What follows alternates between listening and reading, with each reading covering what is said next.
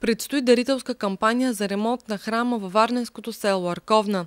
Църквата Свети Димитър е единствената по рода си в общината, вкопана на метър и половина в земята. По думи на жителите на Арковна, църквата датира от 1898 година и е притегателно място за всички вярващи, които търсят спасение в храма. От няколко години църквата има нужда от ремонт, като най-важно е да се оправи покрива, за да се запази целостта на вътрешният облик на храма. Действаща е. Малко ремонти предстои. Те първа предстои да търсим спонсори. Ще открием банкова сметка, понеже вътре мазилката леко е напукана. Покрива трябва да се направи също. Може би до година ще се съберем тук църковните настоятели и ще решаваме, защото вече няма за кога.